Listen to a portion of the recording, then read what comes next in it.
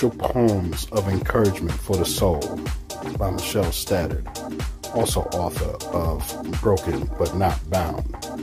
Another illustrated masterpiece for those of you who enjoy spiritual poetry. Some of the works by my son, Omani Stadard. Links in the description.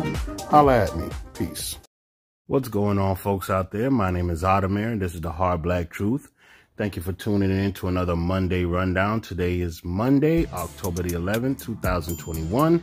And let's get right into it. Facebook was down Monday for several hours, and people were like, oh, it wasn't just black folks. Everyone kind of, you know, were, were talking about it because folks are so used to being able to go on their social media and see what's going on. It's kind of scary when you really think about it, but what I found interesting about this story is that the outage came on the heels of a so-called whistleblower. Now, this so-called whistleblower was making headlines because she made the claim that Facebook decided to do what's in the best interest of making money and keeping subscribers rather than do what's in the best interest of the country. She actually went about blaming Facebook for what led up to the January 6th assault on the Capitol by disgruntled Trump voters. Uh, my whole thing to that, I, I, don't trust any party in this whole story, this whole situation. Um, Facebook is done very well with censorship. You could just ask Rizza Islam. See, they'll start off with going after somebody like uh, I don't know, those conspiracy theorists guys out there, and then they they delete them and ban them off the internet, just banish them, and then we're all like, hey, great, and then they turn around and go after, like I said, folks like Rizza Islam. So always keep your third eye open whenever you see stories like this. Um, you know, things kind of hit the fan, but I don't think any of us who are into our phones will actually know exactly what hit the fan. Uh, nevertheless, keep your eyes open. In other news, I had to cover this because I did a video on this guy. This is Vauhxx uh, Vauhxx Booker. Uh, this dude, I made a video about him because he got caught out there in the boonies being assaulted by several suspect white supremacists and the white friends that he was booed up with where he went out there. None of them really lifted a finger to help. They were all crying and pleading, please let him go. And, uh, and I talked about it. I, I, I even went into a bit of detail describing this dude here. You see that big cheesy coon smile on him.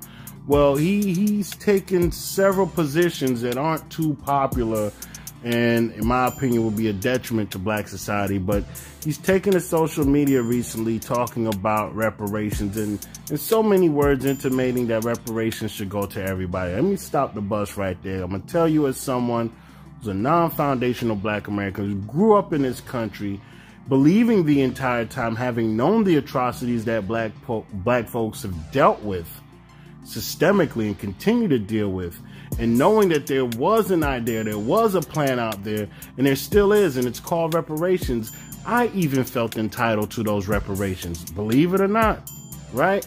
It took some growing up and understanding my position in the grand scheme of things, and you know what?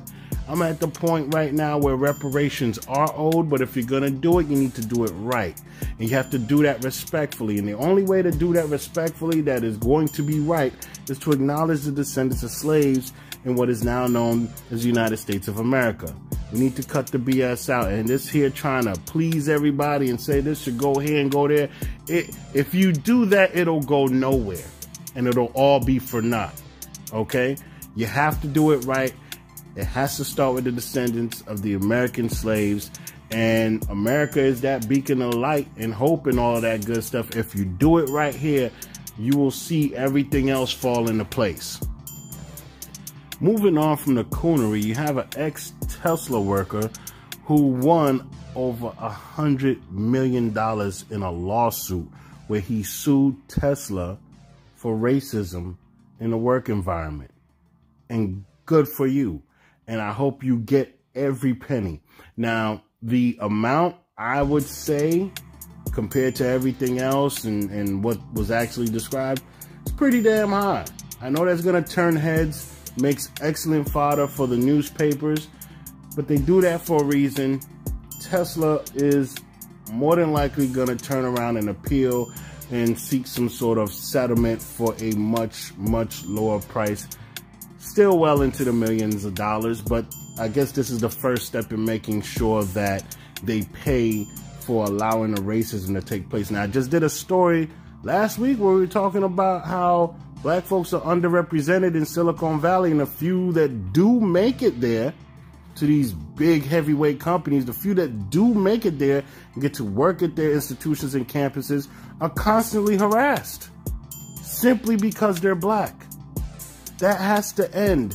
And many companies have done what they can or are trying to do what they can as best as they can to at least give the appearance that they are equal opportunity across the board. Uh, but more needs to be done, and this is undeniable proof that racism and white supremacy still exists. You're not handing out $137 million verdicts simply because someone's feelings were hurt. No, this was some real foul crap that this guy had to deal with. And fortunately enough for him, he had his day in court and they decided in his favor. Speaking of favor, all of y'all folks out there, you know who you are. You tried to convince us that Biden was in our best interest. They trotted out that woman and, you know, folks were talking about she walking around in chucks and pearls and all this other nonsense. Now look at you. The daggone funding for HBCUs went from 45 million down to 2 million. Now, if I'm not mistaken, President Donald Trump actually put money out there. He put money down on the HBCUs because the HBCUs were largely getting ready to fail. They're getting ready to go under. And Trump actually said, yeah, let's make sure that we do something for, I can't do his voice, but you get what I mean. And now Biden has come into place with his new spending plan. And all of a sudden, the budget gets cut from 45 billion to 2 billion. Come on, man. We give more money abroad to other nations than we do our own institutions here in the United States of America. And it's a shame that black folks simply can't get a fair shake. We are stuck sitting here trying to convince the world that our institutions, our livelihood, our culture, us as a people should be respected. But we get no respect when we turn around and vote for folks without any promise or, or anything. It was supposed to, it was supposed to be no tangibles, no vote. Somewhere along the line, folks allowed themselves to be confused that it's the lesser of two evils. It's, we got to get this madman out of office. It was Democratic down ballot. All of these stupid ass things that put that man in office. And this is the result. And oh man, I know that you guys saw this story, this disgusting story. Oh, it, it, pissed me off just watching it, but you know what? Nothing really shocks or surprises me anymore. Just leaves me with a feeling of anger. We talk about reparations and why and how and should. This black man's a paraplegic. He has no control over his legs. He explained to the officer who had pulled him over for whatever reason that he's a paraplegic. He can't walk. He needed to have assistance getting into the vehicle. Well, the officer was having none of it because the officer had to run a canine around the car. And now the thing that they do is they they take the people out of the vehicle. I guess that police department does in order to run a canine around the uh, vehicle. On a side note, I can't stand them damn police dogs. I hate the way that they're being used. I would wish that they'll do away with the entire program. Problem is, you do away with the program with the canines. They turn around, bring in these daggone monstrous robots that they are already testing out in the streets. And they're going to turn around and weaponize those robots to have glitches and mistakes that inadvertently just kill black people. So it's like you're damn if you do, damn if you don't. I'm just predicting what I see ahead of ahead of me. But this dude was brutalized by a police officer because he couldn't walk, dragged off. And, and uh, I don't know if you get to see the screenshot or not, but as they as he they as they drug him off, his pants had fell below his belt. It was it was awful to see this and you know those officers should be charged they should they literally should be charged they should be arrested they should they should be fired all of those things you can't have these folks going around treating black people like this and we got to stop allowing it we got to put our foot on the ground at some point and just say, no, you're not going to do this. You're not going to get away with this. We're going to protest. We're, we're going to come to your doorstep. We're pull up summer and all of that good stuff. But it remains to see how this story turns out. I don't know. Now, going from bad to worse, I'm reporting this. I'm not going to get into it, but I have to at least put it out there. I'm sure more is to come. This young man was an aspiring everything that you would want to say that's positive about a black male. And he died still under quote unquote mysterious circumstances. Uh, they tried to claim that the the weather and nature took its course. Fish bit up his body, turtles bit up his body. He had his jaw sawed off. Stop the story right there. This young man was killed and his body mutilated, and you're not going to blame nature for something as blatant and inexcusable. You can't ignore his jaw being sawed off someone took a souvenir, much in the way that they did and have been doing for the past several hundred years. Again, black folks, we don't really have time to be sitting here arguing with one another over petty ass things when we have active, racist, white supremacist, murdering bastards out there who do this kind of thing to someone who was everything that you would look at as positive. I can't stress that enough. It wouldn't have made it any less egregious if if this had been done to a Pookie or, or, or whatever like that. But the fact that it's being done at all, folks, watch your backs out there. This was uh, out there in Mississippi, if I'm not mistaken.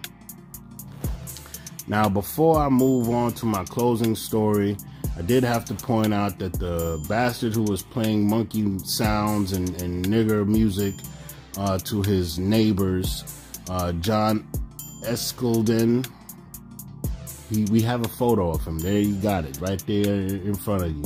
That's his photo, and I may have link posted in the description on this one as well. They got photos of his wife, they got his work background history. They got his daughter's name. I mean, they just bought out all the stops. They're bringing so much heat, so much pressure on this dude. I'm surprised he hasn't moved out himself. That's just my thinking.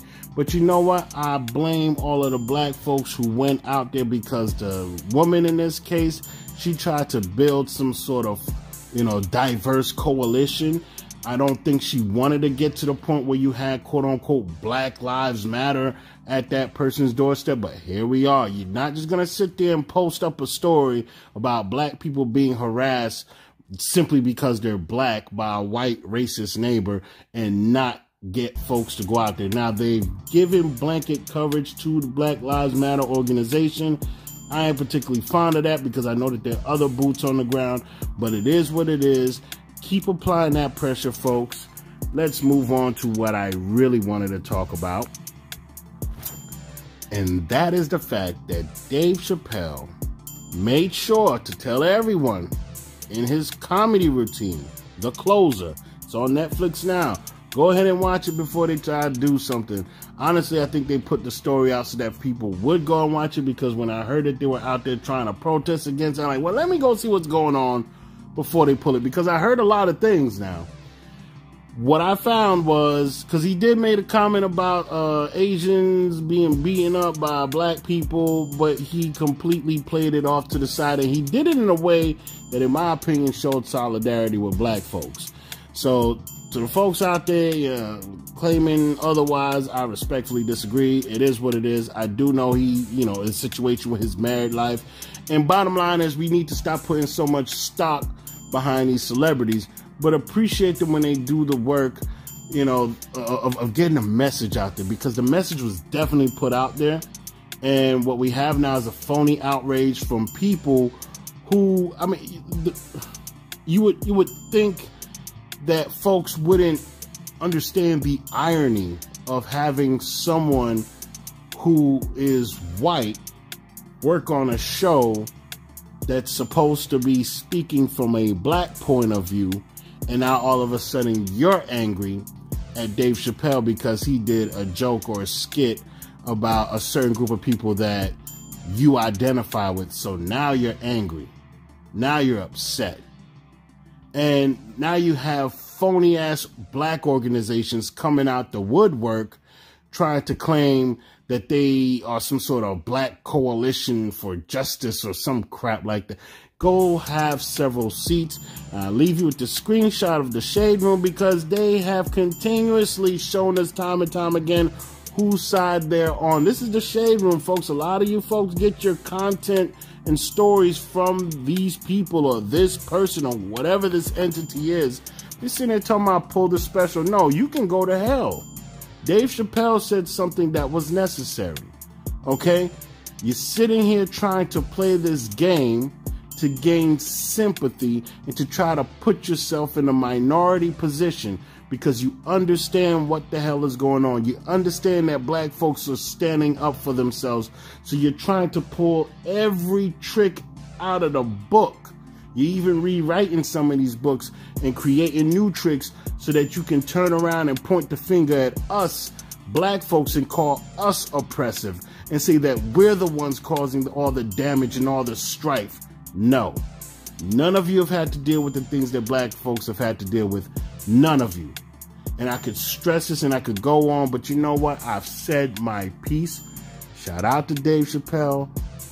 Stand strong. He did make sure to mention that this would be his last one because he's going to push it to the edge. And he really did. And if you took some of those jokes and just chopped them up, devoid of context, yeah, they do sound awful.